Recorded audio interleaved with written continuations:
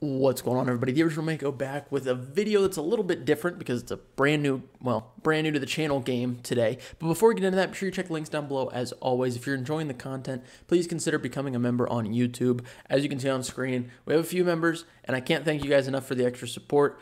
Um, becoming a member, you get a couple of different unique perks depending on what tier you're at, and it's a really, really good, useful, and fun way to help support the channel. So I would really appreciate it. It would mean a lot if you check that out. And be sure to hit the subscribe button so you don't miss any of the content coming out very soon. Now, this game is an ARPG that is technically still in beta.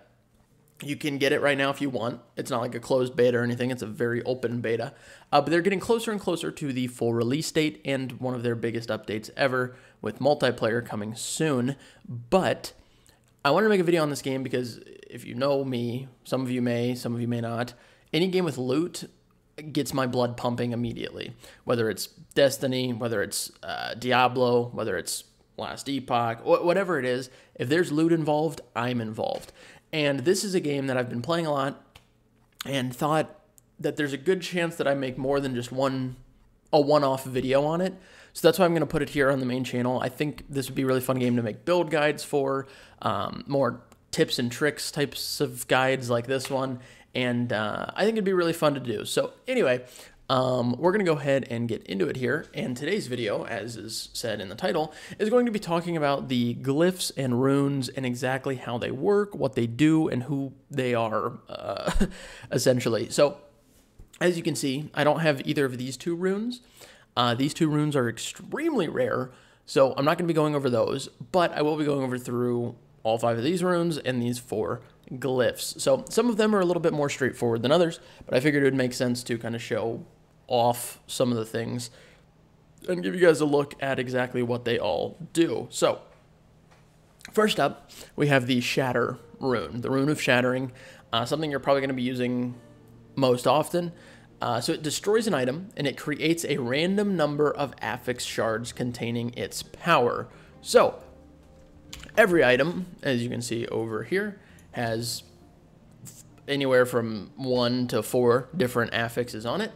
And if you've got a um, an item that you get and you're like, man, one of these affixes is really good, the rest aren't, so I'm not going to use it. It's not going to replace what I have but I really want some of these affix shards in case I need to put it on a piece of gear in the future. You come over here, you add the shattering rune, and as you can see, after we shatter this, it'll give us a random number of shards. Uh, sometimes you get lucky, sometimes you don't. For this one, um, I'd really like the level of summon uh, bone golem shards to come with me. So we shatter, and we got plus four that's really good, actually. We love to see that. Uh, we got plus four out of it. So that's how the shattering one works. It destroys the item completely, but you get shards based on what affixes you had at the time of destroying it. Uh, next up, we have the Rune of Refinement. So re-rolls the values of all affixes on an item within their tiers. This one can be a little bit confusing at first, so let's talk about it.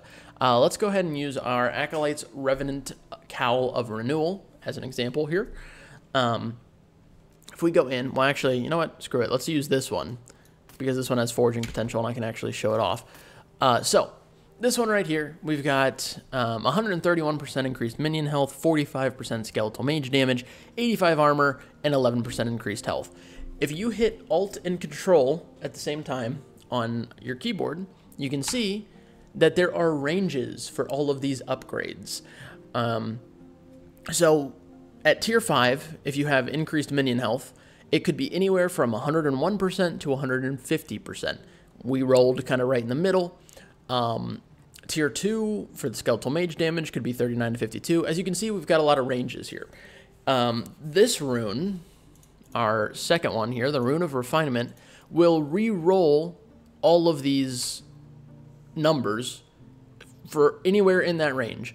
So our minion health could go from 101 to 150, skeletal mage from 39 to 52, uh, and so on and so forth. So if you have this and you've got, you know, maybe your most important stat is a really low roll, and you're like, well, that's kind of fucked. I don't really want that. You just use this rune of refinement. We've got 131, 45, 85, 11. Refine. 116, 50, 87, and 10. So that would be uh, pretty much an L of a reroll, but it doesn't matter too much because I don't plan on really using this helmet. So, um, so that's how the Rune of Refinement works. It rerolls all of those numbers, but it can only stay in its tier. So it can't, you know, reroll to, if you have a tier 4 uh, range of values, it's not going to reroll to something in tier 5 or into tier 3. It will always stay within its range. So you have a general idea, if you hit Alt and Control, where it's going to be.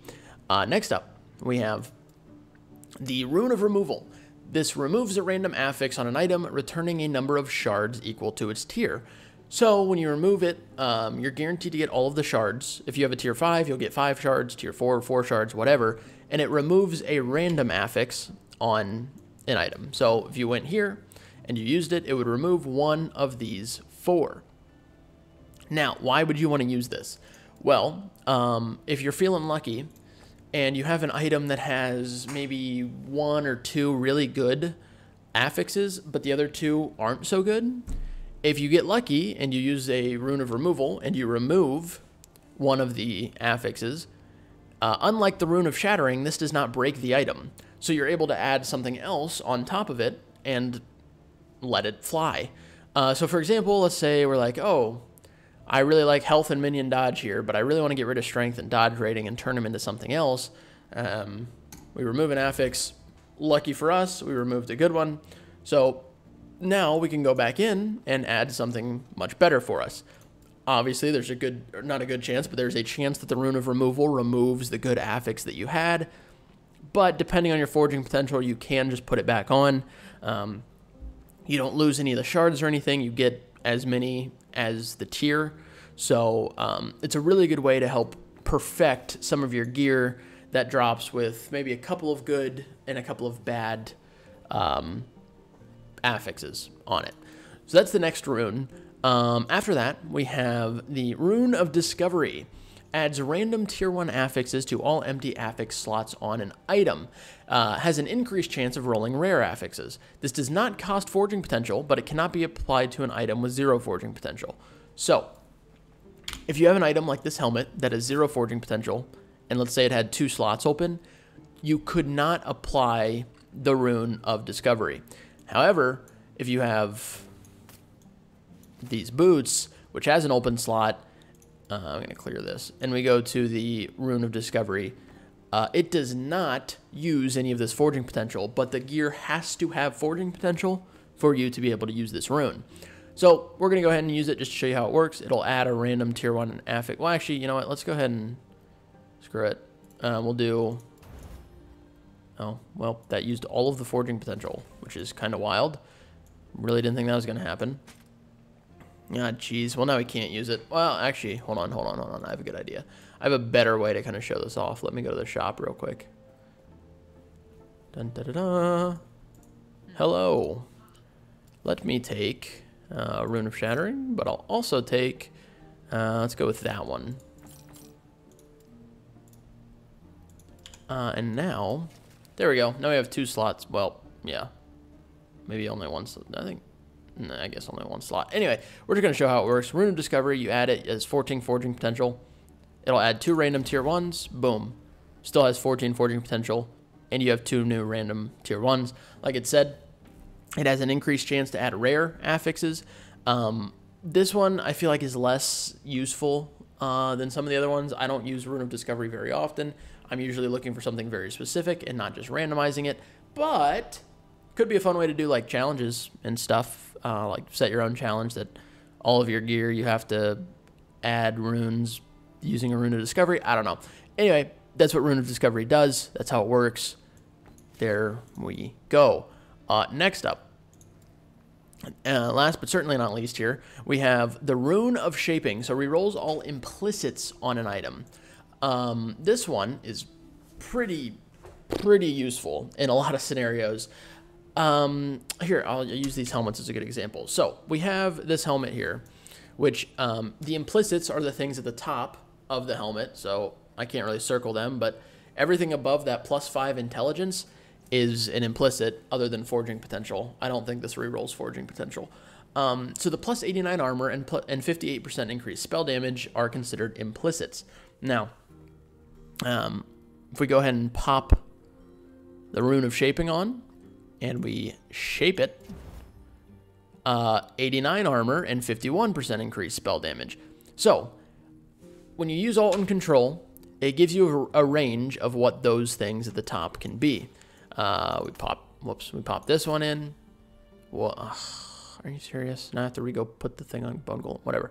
Um, and we see that we're kind of on a low roll for our minion damage here. So if you wanted to re-roll that and try to get to a higher tier, you can use the Rune of Shaping for that. Um, and it's super useful because a lot of times implicits are a good reason you have some of the items. So being able to get those to a high roll is kind of what you want. Um, also, it's going to bother me if I don't do this really quick, so I'm going to go do this really quick. Um, great. So that's what the runes do. That's what the most common runes that you'll come across do. That's what they are. That's how they work. Um, a couple of them are a little bit worded weirdly, but uh, hopefully that clears everything up. Next, we have the glyphs, which are um, some of them, once again, straightforward, some of them not as much. So let's go ahead and talk about them. Uh, the Glyph of Hope. Um, this one is the most common, as you can see. You get the most of them, but you're also going to be using them the most. Uh, so it modifies the outcome of a craft, granting it a 25% chance to have no forging potential cost. So there are two ways to have something cost zero forging potential. One is to get a critical upgrade, which I forget the number on it, but it's a relatively low percent chance to happen. I think it's somewhere between 5 and 10% for a crit upgrade. Uh, or two is to get the 25% proc on the Glyph of Hope. So let's say we have, oh God, I gotta find another piece of gear to use more to, to show how this works. All right, so let's say we have this here, and let's go ahead and put in a Glyph of Hope. Uh, and let's say, wow, we really want to upgrade our chance to apply Frailty on melee. Um, it has 19 forging potential. We use it. Ah, darn, didn't proc. We use it again. Did not proc. We use it again. Didn't proc. One more time. Great. Um, okay, so I'm not even going to... I'm just going to stop there and say the the game doesn't want it. it. The game has it out for me today. That's that's fine. That's dandy. We're not going to... Oh, God, I want to show it proc, though. I have so many, I'm not super concerned about this. Let's go ahead and run it back. And Glyph of Hope. You'll see it at the bottom here. Uh, it'll say Glyph of Hope used. So we have 16 forging potential.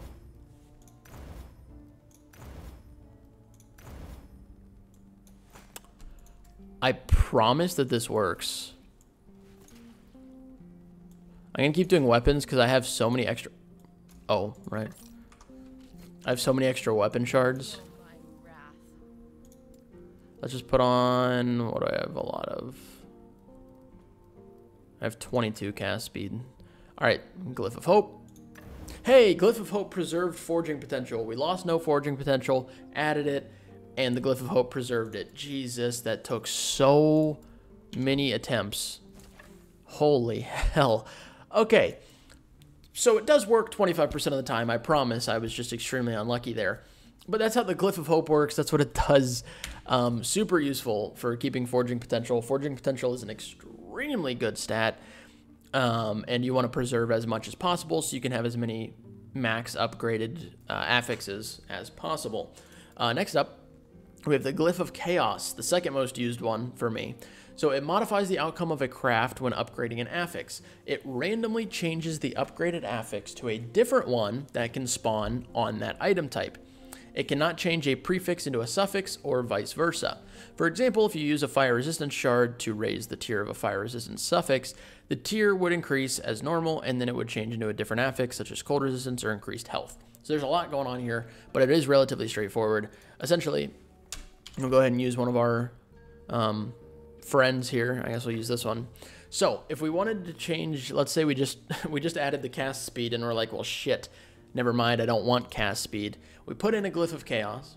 We go here, and it will upgrade it and re-roll it. That's what the whole last part was saying. So it'll go to tier 2, but it'll be a tier 2 of a completely different affix. So let's go ahead and do it. This will cost forging potential. It'll cost 1 to 10. Um, and now we have tier 2 elemental damage. So this is the other way where you can um, try to, if you have an item that has two good affixes and two bad affixes, you can try to get those other two, the two bad affixes to become more useful. Uh, this one is a guaranteed way to make sure you don't get rid of one of the good affixes, like the rune of uh, removal does.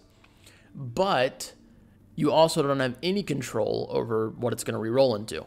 Once again, if we look here, um, we have all of these prefixes. So all of these are any of the options that could go here. All of these prefixes. It has to be able to be applied to that item. So it has to be, for this example, something that you can add to a weapon or a wand um, in this example. And it has to be in the same category, a prefix or a suffix. So you're not going to reroll elemental damage and get freeze rate multiplier. Or if you had something on this side, you're not going to reroll it and get any of this. So you have a good idea of the options that you'll be able to reroll into, but you have no control over what it's going to reroll into. So it's a little bit of rolling the dice, trying to get lucky. Um, most of the time it doesn't go well for me, but my RNG stat is permanently like negative 80 IRL, so um, that's how it usually goes for me. So that's the glyph of chaos. Next up, we have the glyph of order. Modifies the outcome of a craft when upgrading an affix. It prevents the roll of an affix within its range changing when it's upgraded. So this one's a little bit confusing. Um, but let's say, um, uh, do I have a good example of any here? Um, oh, here's a good. Okay, so let's say the mo- it's not true, but let's say your most important stat on this um, item right here is health. Well, you go down and look, and you're like, oh shit, my health is at the maximum range. It's also at tier 5, but let's pretend it's not at tier 5. My health is at the very top of the range and it can't get better, but if I re-roll it, it might go down to the very bottom of the next range because that's how it works. Which also, a quick little note let's say there was a tier 6 for health here. The lowest range number for tier 6 is always higher than the highest range number of the previous tier.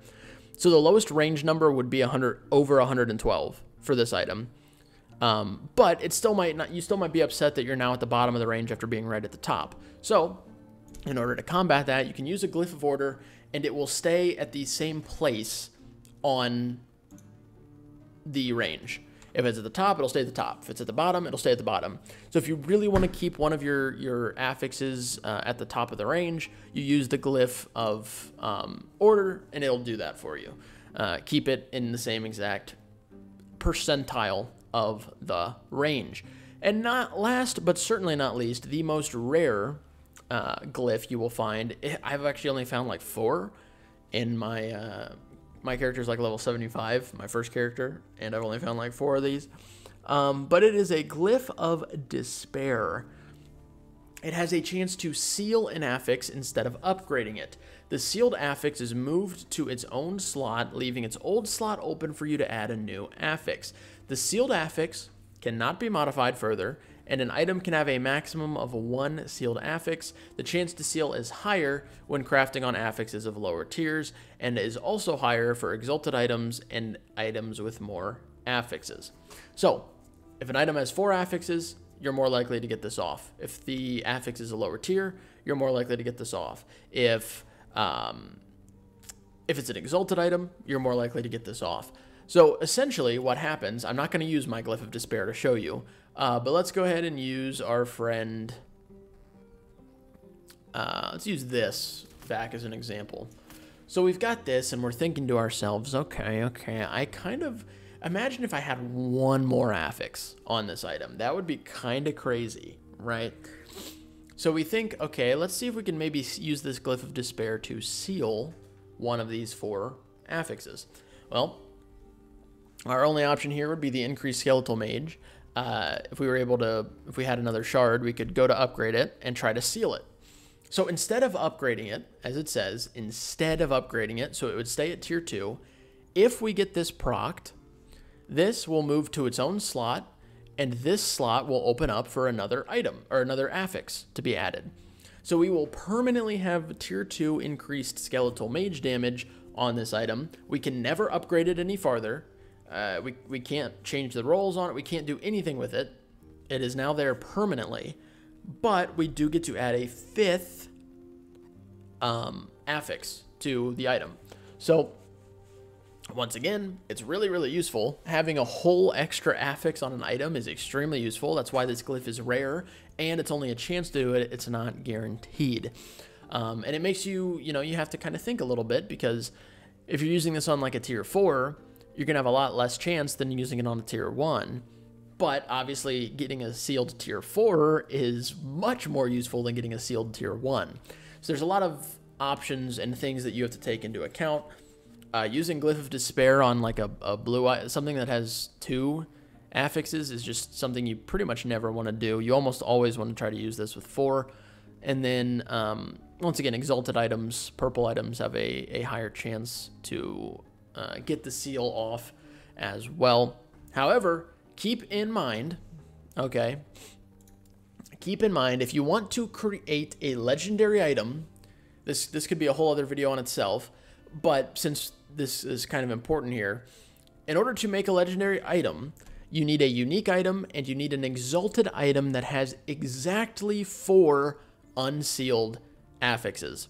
So if you plan on turning your exalted item into a legendary, or, or yeah, if you plan on using your exalted item as part of a, a crafting a legendary, then you do not want to seal an affix because then you're chalked. Um, oh, wait a minute. Okay, hold on. Now I got to think about this because the wording, after I just said it out loud, because it says exactly. Oh, so if you have four unsealed affixes and one sealed, then you should still be fine. Anyway, um, so maybe it is fine then. I haven't been able to test that yet, but regardless, it has a higher chance on exalted items. So if you want to add a fifth affix uh, and just make your exalted items even more fucking bonkers, then that could be a really good thing to do. So there it is. Um, that is a full little guide on all of the um, runes and glyphs. Hopefully, whoops. Oh my god, I got scared for a second. Um, hopefully uh, that helped a little bit and um, answered some of the questions or a little bit of confusion on how all of those work. Um, I still can't believe how long that glyph of hope took to work. I promise it actually works 25% of the time and it's super useful. But there it is. Uh, so thank you guys for watching. I really do appreciate all the support as always. Be sure you check those links down below. I'm excited to make more content on this game. I can't wait for future releases. Um, but thank you guys so much. Uh, have a wonderful rest of your day. I love each and every one of your faces and I will catch you all in the next video.